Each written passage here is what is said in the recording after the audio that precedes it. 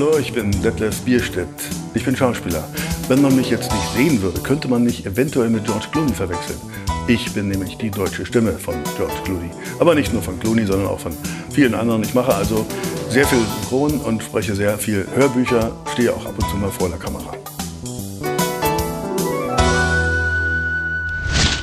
Ja, wie kommt man zum Synchron? Man ist als Schauspieler, ich bin als Theaterschauspieler ausgebildet und dann spielt man ja nicht in jedem Stück. In jedem Theaterstück ist man nicht drin. Dann hat man also auch Freizeit. Man hat auch zwischen den Proben und der Abendvorstellung ein paar Stunden Zeit und dann will man irgendwie noch sehen, dass man irgendwo noch seinen Fuß reinkriegt. Das war damals in, okay. mein erstes Engagement ja. war in Babelsberg, in Potsdam, nicht in Babelsberg, sondern in Potsdam. Aber Babelsberg ist ja dann gleich um die Ecke und da sind wir immer in den okay. Probenpausen oder in den freien äh, Tagen zum Synchron in Babelsberg, zum DEFA-Synchron. Da haben sie sozusagen Eigenproduktionen, die dann nachsynchronisiert wurden, äh, immer gemacht mit den Schauspielern vom Manns-Otto-Theater und dadurch bin ich so ein bisschen da reingerutscht und fand es durchaus interessant und habe mich dann in Johannisthal bei einer, beim Johannisthal-Synchron beworben und wurde dann da auch genommen und habe dann neben der Theaterzeit eben halt schon angefangen, relativ intensiv synchron zu machen.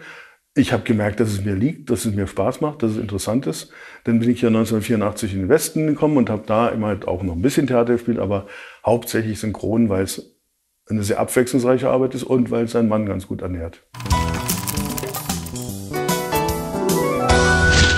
Eieiei, an meine erste Rolle erinnere ich mich nicht. Ich weiß nur, dass die DDR-Synchronzeit eine ziemlich harte Zeit war, weil äh, das ging nicht so locker zu, wie es jetzt im Atelier zugeht, sondern die, dieses, das Drehbuch war die Bibel parteimäßig abgesegnet, also musste der Text so gesprochen werden, wie er abgesegnet war. Und da waren manchmal Zungenbrecher, wo man sagen würde, normalerweise spricht so kein Mensch.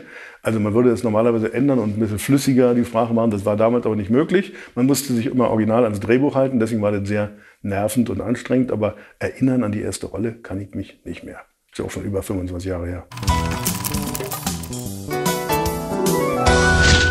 Also DDR-Synchron war sehr steif. Es war sehr es, es wurden auch, also es wurde brutal zusammengeschnitten. Also man wurde, man hatte ein normaler Take jetzt im Westen, also im, im jetzigen Deutschland, auch damals, als ich noch getrennt war, besteht aus zwei, drei Sätzen.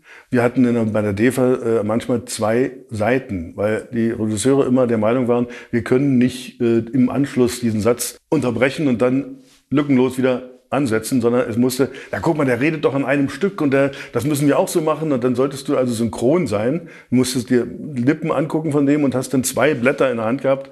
Es war nicht synchron, konnte gar nicht synchron sein und es war Hanebüchen eigentlich. Als ich den Westen angefangen habe mit Synchron, da waren so, also Thomas Danneberg zum Beispiel, das war ein Nachteil zum Beispiel auch vom DDR-Synchron war, dass alle wollten klingen wie John Wayne. Alle wollten unbedingt immer so sprechen. Das, das, dadurch wurde es auch alles so künstlich und es klang wirklich nicht so besonders. Meine erste Rolle im Westen war ein Tracker aus äh, in, in, äh, ein Colt für alle Fälle und da hat Thomas Danneberg Regie geführt und der begrüßte mich ganz locker und sagt, was du bist so ein ganz netter, lässiger Trucker-Typ da, so ein junger Mann, der da immer so und dann, ja, du siehst ja, wie er aussieht und sprichst du da einfach mal so und dann, ja, ja, mach ich, klar, alles gut. Und dann kam der Take und dann, ja, also pass auf, was also, Nee, nee, nee, so nicht. Ganz lässig, einfach so locker so. Ja, ja, klar, habe ich verstanden. Ja, also pass mal auf, das so. Da war meine DDR-Versautheit dann noch so drin in mir. Denn Thomas sagte, Detlef, äh, wie heißt du nochmal? Äh, Detlef Bierstedt. Siehst du, du kannst richtig sprechen. Ganz normal sprechen und so wollen wir das auch haben. Also da waren so die ersten Schritte, die, wo die Leute mit einer ganz anderen, mit einem anderen Umgangston mit einem, mit dem Schauspieler geredet haben, sodass du also nicht Angst vor dem Take hattest, dass er noch, sondern du wurdest äh, dazu eingehalten, lässig, locker, selbstverständlich zu sein. Und ja, das waren so, also Thomas Danneberg, dem habe ich erstmal die ersten Schritte so zu verdanken. Ja, das ist wie Synchrone, halt wie überhaupt im Film und im Schauspielerberuf äh, vieles ist, sind einfach Zufälle. Also der Regisseur Michael Richter, der deutsche Synchronregisseur, der damals Emergency Room die ersten Folgen betreut hat, der hat mich einfach besetzt, weil er mich kannte schon von der Arbeit und meinte, meine Stimmlage passt original zu dem Gesicht von George Clooney. Ähm, ich, dadurch habe ich dann mit Emergency Room angefangen, wurde allerdings von einigen, als wir dann die ersten Filme gemacht haben, der erste Film war, glaube ich, ähm, Tage wie dieser oder sowas, und dann kam Batman relativ bald. Und da wurde ich schon ein bisschen noch angefeindet von so, so einem sogenannten Supervisern, die dann immer die Synchronkontrolle in Europa haben, weil ich ja nicht so aussehe wie Herr Clooney. Und dann manche Leute eben halt nur gucken und nicht hören. Dann kann es schon mal passieren, dass sie nicht die Fantasie haben, dass der klingt aber wie Clooney. Nur weil er nicht so aussieht, muss er ja nicht singen. Und äh, ja, also wie gesagt, die erste Besetzung war Emergency Room und das sind einfach nur Zufälle, dass der hätte auch, wenn der einen anderen besetzt hätte, wäre ich nicht die Stimme geworden. Das ist jetzt nicht so, dass, dass ein Auswahlverfahren war, sondern es war einfach die Besetzung von Michael Richter, der mich damals eben halt ausgewählt hat. Oh, vom Spiel her hat er sich nicht verändert. Also sagen wir, vom Spiel her war er genauso lässig und charmant und, und leicht spielerisch, wie er jetzt auch in den Filmen ist. Aber dass er dann so ein äh, Kracher wird, das konnte man nicht wissen. Das ist ja, steht ja immer in den Sternen, wie man aus einer Serie plötzlich rauskommt und zum großen Superstar wird. Seine Spielweise hat sich allerdings in der nicht so entwickelt wie seine Superkarriere. Er spielt immer selber. Also Clooney ist Clooney, finde ich. Ich finde okay, was er macht. Ich finde es sehr, sehr charmant, sehr leicht und sehr lässig und und äh, ja, einfach charmant und, und spielerisch so, aber er ist nicht, er ist nicht Dustin Hoffman oder, oder Nicholson oder sowas, wo du sagst, Mann, der ist ja in jedem Film anders, das ist ja irre, was der für eine Palette hat. Er ist einfach nur nett und lässig und das macht mir allerdings Spaß.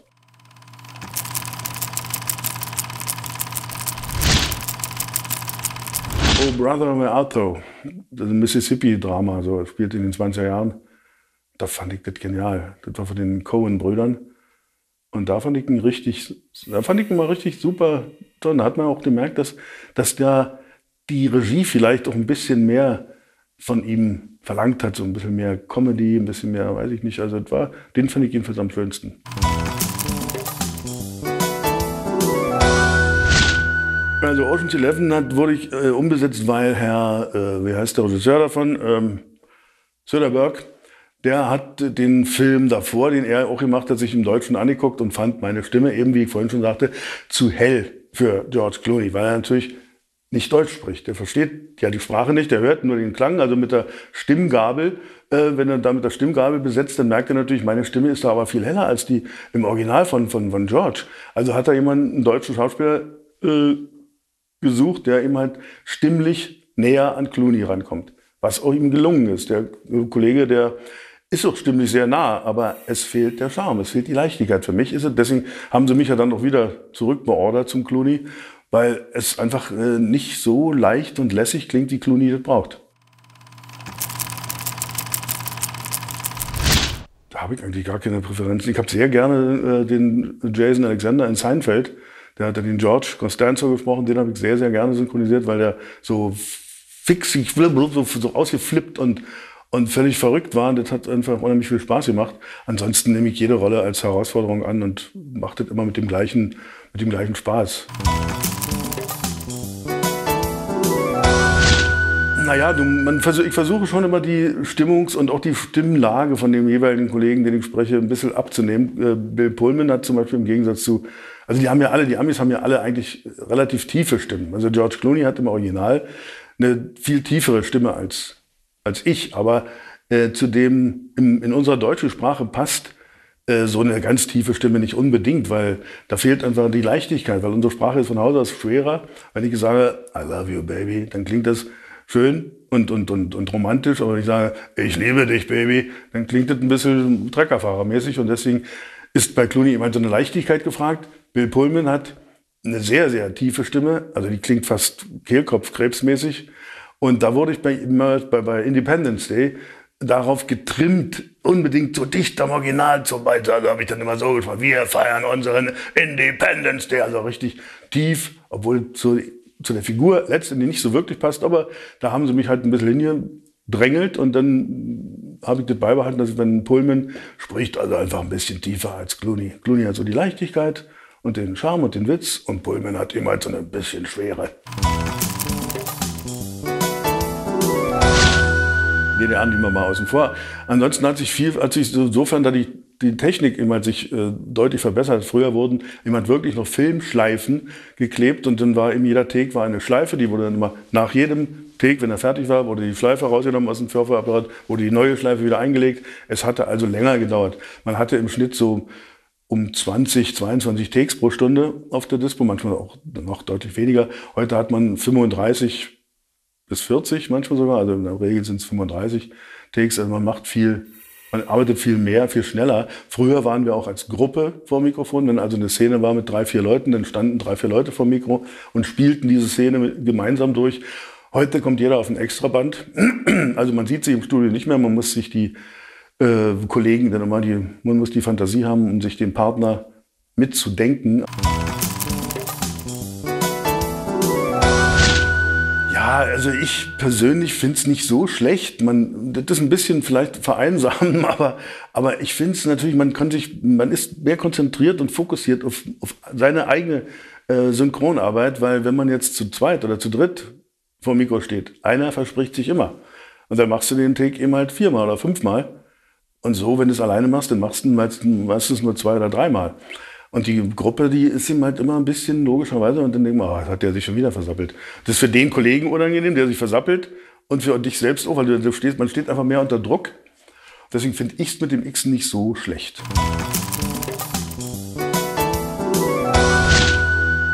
also eigentlich nicht so wirklich viel. Es ist vielleicht mitunter ein bisschen einfacher, weil du nicht ganz so lippensynchron sein musst, weil man doch ein bisschen mehr schummeln kann. Aber im Prinzip von der, von der Technik des Synchronisierens ändert ist da nicht so viel Unterschied. Du hast einfach bei, bei Stan Smith ist einfach, ich finde die genial, diese Serie, es ist einfach wunderbar komisch. Deswegen ist es immer lustig im Atelier. Wir haben alle unheimlich viel Spaß.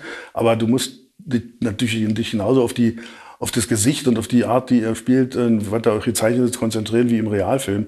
Großer Unterschied ist eigentlich nicht. Unterschied besteht hauptsächlich darin, dass beim Synchron ist man fremdbestimmt. Man, die, der, der Film ist fertig, der Schauspieler hat seinen Part erledigt. Ich bin nur noch der Übersetzer, mehr oder weniger. Ich muss zwar trotzdem spielerisch sein, ich muss also die, die Gefühle und die, die Sachen, die der Schauspieler mir vorgibt, muss ich natürlich auch nacherfüllen. Also ist man nicht Sprecher, man ist schon Schauspieler, der synchron macht, aber man macht nur was nach, was schon fertig ist. Als beim Hörbuch bist, bin ich der Interpret. Also ich gebe den Figuren, hauche den Figuren Leben ein und die, äh, die Gefühle und die, die Sprechweise der, der Figuren eines Hörbuchs, die werden von mir erfunden und von mir dargestellt. Also ist Hörbuch, würde ich sagen, etwas schöpferischer als Synchron. Deswegen mache ich das auch noch ein bisschen lieber als Synchron. Lese sehr gerne Thriller, die lese ich auch privat sehr gerne. Und wenn ich dann das Glück habe, ähm, ein Krimi auf dem Tisch zu haben, dann bin ich schon immer sehr gespannt, wie es dann weitergeht, weil ich lese es zu Hause auch nicht so wirklich vor. Ich lese mehr oder weniger sehr häufig Prima Vista, weil es mich einfach, äh, weil es mir einfach spannender vorkommt. Wenn ich mich zu sehr vorbereite, bin ich erstmal zu schnell, weil die Bilder, die, die habe ich dann schon im Kopf. Und wenn ich jetzt das Prima Vista lese, dann muss ich so lesen, dass ich es auch wirklich verstehe. Also ist das Sprechtempo so, dass der Hörer eben halt auch die Bilder mit empfinden kann. Und dann ist es für mich eben halt mal spannend, wenn, wenn dann der Thriller äh, sich dem Ende zuneigt, dass man, dann können wir die noch, eigentlich wirklich eine Stunde länger machen, aber okay, Studio ist Zeit ist zu Ende, der nächste wartet vor der Tür, also der nächste Tag jetzt, aber welches Buch konkret kann ich nicht sagen. Ja, also das ist natürlich auch ein Teil des Schauspielerberufs, dass man sich so reinsteigert, dass man schon mitleidet und man muss es, glaube ich, auch. Also es ist da manchmal beim, beim Synchron ist es mir auch schon, dass die Tränen runterkullern. Äh, beim Hörbuch ist es manchmal sogar ein bisschen haarig, ein bisschen schwierig, weil wenn man zu sehr äh, reinfällt in die Gefühlsebene, dann dann stockt deine Stimme, weil man dann einfach selber so mit ergriffen ist, dass man dann eigentlich lieber, wir müssen mal zehn Minuten, ich muss jetzt heulen. Aber das sollte beim Hörbuch ja nicht so, also man, man sollte andeuten, man so, aber es passiert dann schon, dass man, wenn man sich so richtig schön reinfallen lässt in die Situation, dass einem einfach die Stimme wegbleibt, weil man erstmal so gerührt ist, dass man mhm. erstmal schlucken muss, damit man dann später wieder weitermachen kann.